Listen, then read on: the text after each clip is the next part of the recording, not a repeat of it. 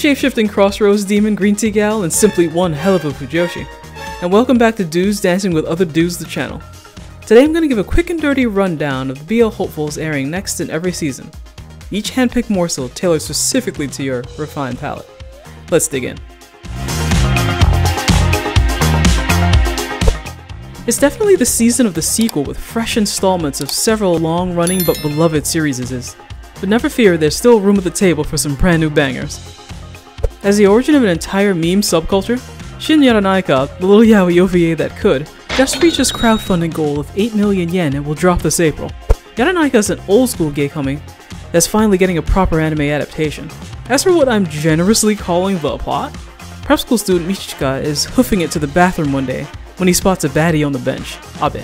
Well, I have to assume we'll be topping him later. They greet each other in the fashion of all gay meet cutes. Then they go somewhere more private to, um, wrestle. The MC has a weakness for nice guys like Abe, the way I have a weakness for anything trying and failing to hide an obvious bromance. Now the trailers made me wonder just how graphic this was gonna get.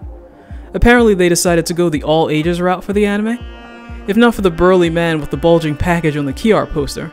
You could almost be fooled into thinking this wasn't just spunt with extra steps, so fingers crossed that even a fraction of the original spiciness will remain intact.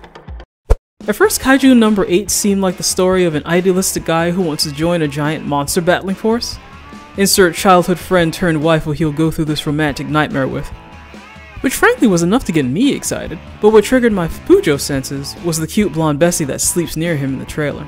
At night when they have a quiet moment together, RMC shares his kaiju slaying dreams with him. Then a weird creature jams itself down his throat and turns him into a human-sized kaiju hybrid. Which as far as transformation triggers go, could only have been more suggestive and on the nose if it flew up his ass. Now I plan to talk about this in a future video, but dudes turning into demons or demonic possession in general is often a metaphor for sexual awakening, and urges that they suddenly can't control anymore. The implied urges dip towards homoerotic, when the transformation just so happens to be triggered near the MC's hot male friend. I mean, his name is Kafka for a reason. There ain't no way this anime isn't referencing one of the real Kafka's most famous novels, Metamorphosis, where Gregor also transforms into something monstrous, then struggles to figure out who and what he is now. Let's hope Kaiju number 8 doesn't have as depressing an end as that book.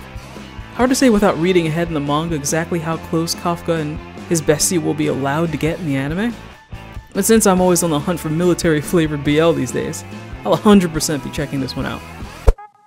I think delinquent anime must be one of the fastest growing genres lately, because we get a new Punchy Boy show every season now. Windbreaker, the latest boon from Cloverworks, stars boy with a girly name Haruka Sakura, an MC who wants to street fight his way into being the hero this city needs. He's also the kind of guy with a screw loose, who's only impressed or even interested in raw strength. So it's no surprise at all that the cast is packed to the brim with charismatic guys who throw hands first and ask questions later.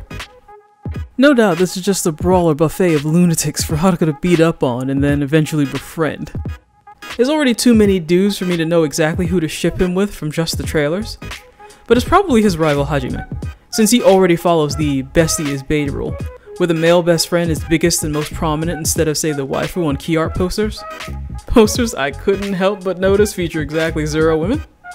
I even looked for any major female characters and thought I'd found one, and even she turned out to be a gender fluid they them brawler Tatsuku, one of the four heavenly kings. So while this certainly doesn't guarantee BL, the homoerotic setting cannot be ignored. You gotta love how any chart tells you all about this anime if you haven't seen it before.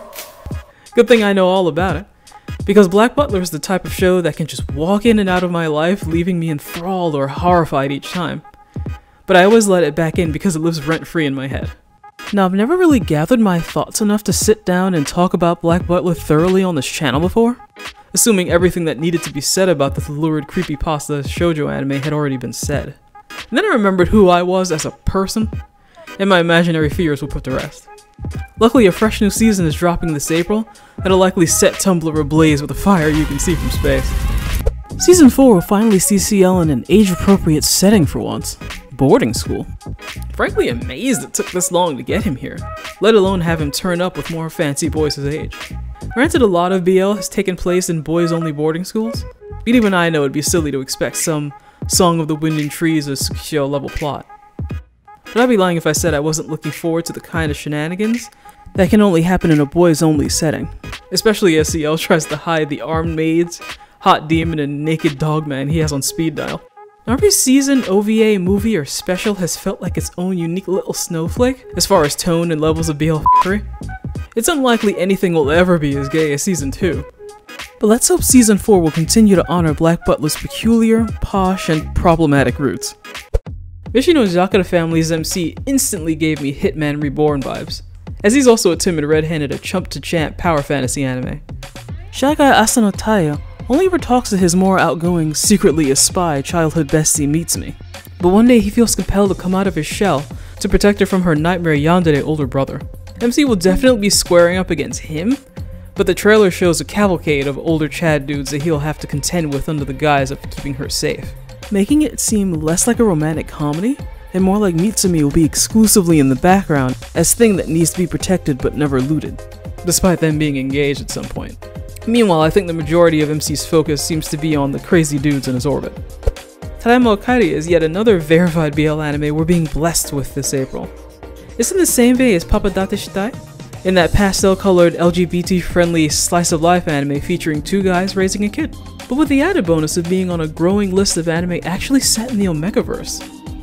And again breaking BL's most time-honored tropes, story seems to pick up after they've done all the relationship heavy lifting, and most of the how we met how we finally hooked up drama is behind them. Now I say most for a reason. As the family members they had to leave behind to achieve this hard-won domesticity, decide to start poking their asses into their happily ever after one day. Let's hope there isn't so much drama that they forget the BL in this BL adaptation. Vampires? The boys only dorm? Rivalry? I'd be lying if I didn't say a vampire dormitory was all the way up my alley.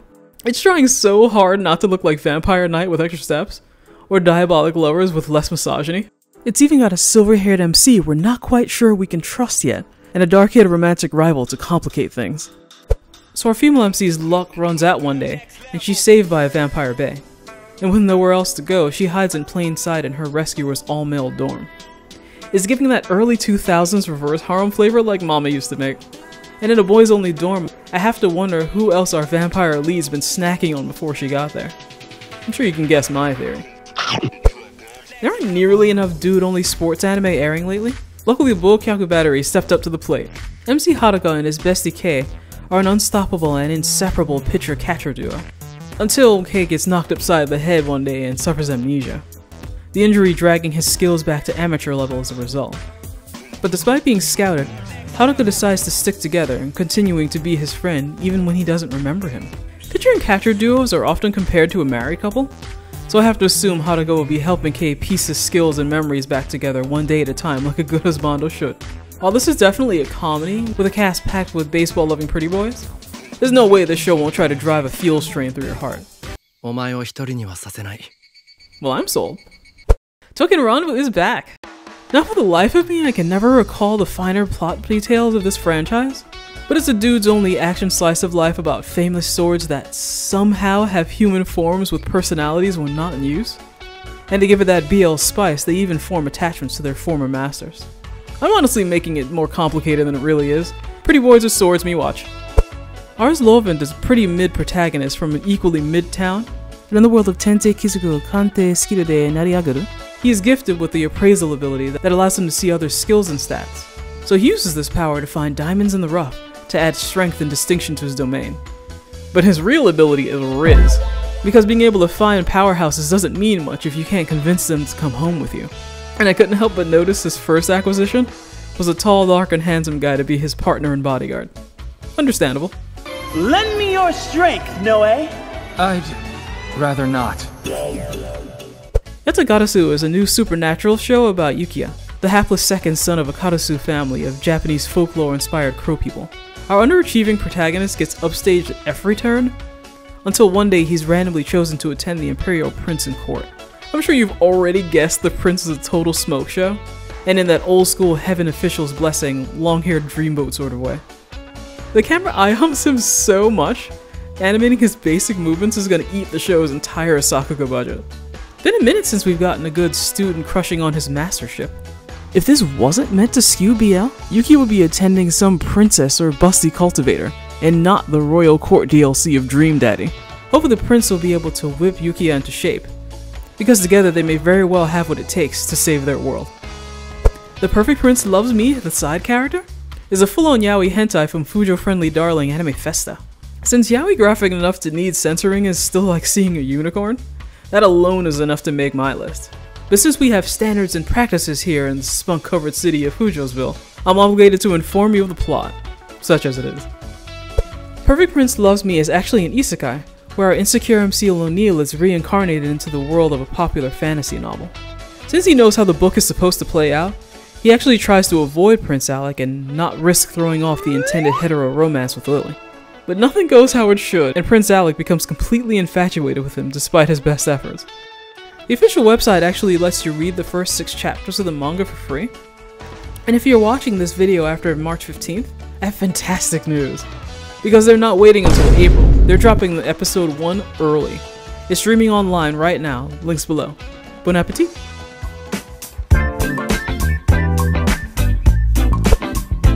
Sentai Daishikaku looks like pure unhinged fun, as a stressed out monster human hybrid tries to take down the overhyped divine dragon rangers from the inside. I'm keeping an eye on it because A, it's from the LGBT friendly Tiger and Bunny universe, and B, our MC seems to have beef with the chaotic red and overly friendly white rangers in particular. Be all of the tones or not, this looks pretty hype. Jiisan Baasan Wakagaeru made my list, with the constant Apple references, and the sheer number of guys that start simping for Grandpa after the look at me, I'm young and hot again premise kicks in. Blue Lock is back with a new movie, Episode Nagi, centered around one of my favorite sports anime ships, Nagi and Reo. There's definitely going to be appearances from the other fan favorites as well. There's no Shonen Ai in team after all. Either way, I'm glad Studio 8-Bit is giving the people what they want. And it's Wabbit season over in Tsukiuta as the franchise celebrates its 10th anniversary with new movie Rabbit's Kingdom. Dropping this June with some surprisingly complicated hot rabbit dude lore. I doubt this will have much of a plot, but apparently the black and white rabbits will mingle for the first time in this movie. If they managed to sneak Mpreg into this, I'll eat my hat. And that is it from me. Which of these are you most looking forward to? Are there any BL friendly anime I've missed? Tell me and others about it in the comments below. Thanks for watching, and feel free to check out my BL Clips channel, my anime reactions channel, or my art process channel linked here and below. Bye for now.